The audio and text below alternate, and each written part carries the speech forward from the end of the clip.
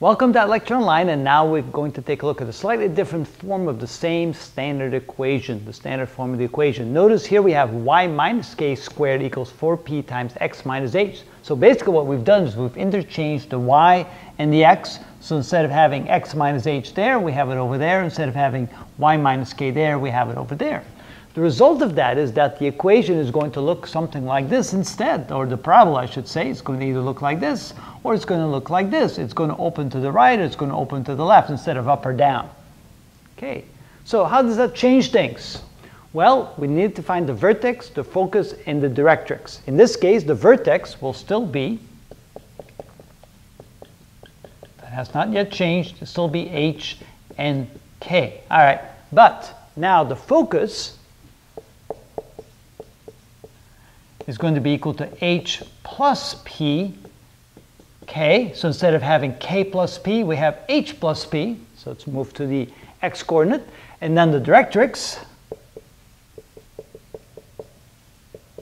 will be found by using the equation y equals to, oh, not y, it'll be x. So that's where it's different. Instead of the y, it'll be x. So it'll be x is equal to h minus p.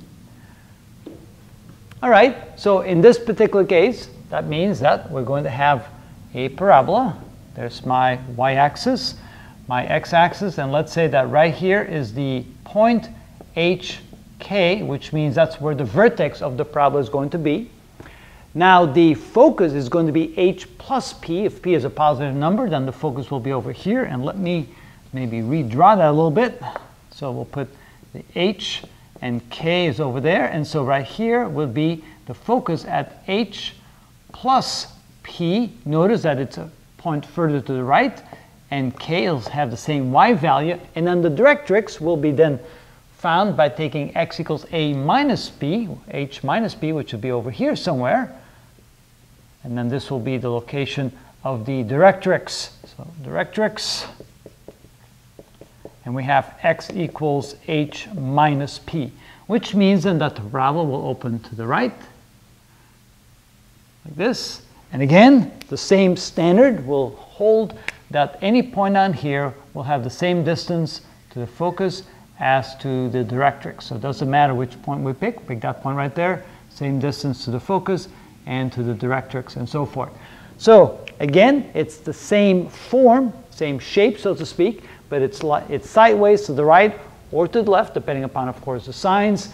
And other than that, it looks exactly the same. Notice, though, that the focus is found by taking h plus p instead of k plus p, and the directrix for x equals h minus p instead of y equals k minus p. That's the only difference. So you can see the, the similarities to the equations here.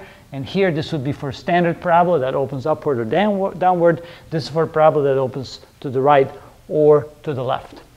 And that's the difference between those two forms. We're going to take a look at a slightly different shape parabola. No, no, no, no, that's not what I want to say. It's not a different shape. It's the same shape, it's just different direction. Okay, all right.